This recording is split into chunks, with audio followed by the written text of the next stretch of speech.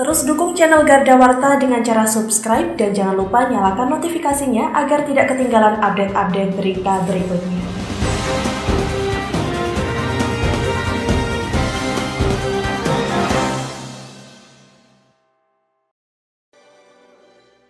Hari Kebangkitan Nasional atau Harkitnas yang ke-113 pada 2021 ini, pemerintah Kabupaten Ngawi melakukan upacara secara virtual. Inspektur upacara Harkitnas dipimpin langsung oleh Bupati Ngawi Oni Anwar Harsono yang diikuti oleh jajaran Forpimda, seluruh OPD dan pelajar di Kabupaten Ngawi secara virtual.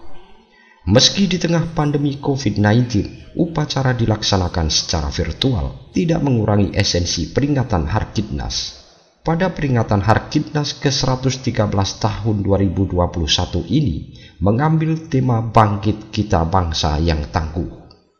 Ada tiga hal penting yang digagas Budi Utomo antara lain cita-cita kemerdekaan, memajukan nusa dan bangsa, serta mewujudkan kehidupan bangsa yang terhormat, bermartabat di mata dunia.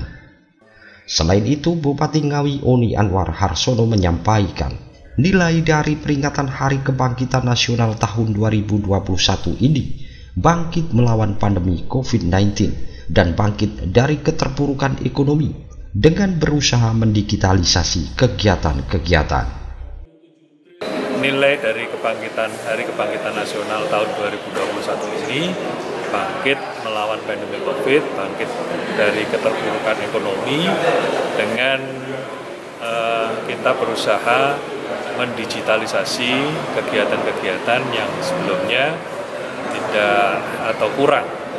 Kurang mendapatkan apresiasi padahal ketika kita dihadapkan dengan kondisi sekarang ini kita jarang tatap muka, jarang berinteraksi sosial, kita hanya bertemu lewat e, virtual, lewat dunia maya, maka kegiatan ekonomi, sosial, kebudayaan, dan seterusnya ini patut bisa terfasilitasi dengan ruang-ruang digital.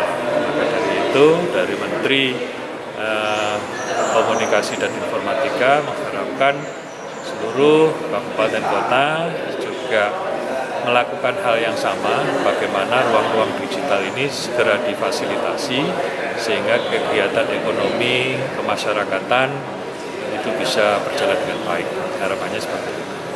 Menteri Komunikasi dan Informatika Republik Indonesia berharap seluruh daerah dapat memfasilitasi ruang-ruang digital sehingga kegiatan ekonomi kemasyarakatan diharapkan dapat berjalan dengan baik. Dari Ngawi, Tim Liputan Garda TV.